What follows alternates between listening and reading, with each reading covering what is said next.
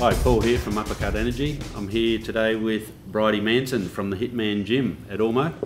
Uh, Bridie, you got a fight coming up on the Eruption, December 1, Yeah. uh, up against a girl from the Boonchu Gym. Yep. Uh, how's the training going and how are you feeling? Yeah, really good. Fitness is getting there, so it should be good. It's the first time I've had a good lead up to the fight. I've taken fights a week out, so this is the first time I've had a fight where I've got a good five weeks, four weeks to train.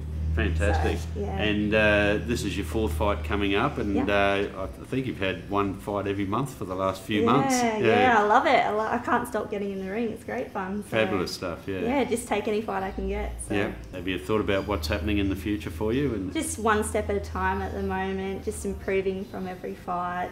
Um, with every fight, there's always something you need to improve on. Sure. So, yeah, just doing that and seeing where I can get from there, and maybe a title one day would be great. Awesome. Yeah. All right. Well, listen, we're going to be there on the night. Yep. We'd like to have another chat to you then, see how you went. Sure. All the best. Thank you very Thanks, much. Good on you.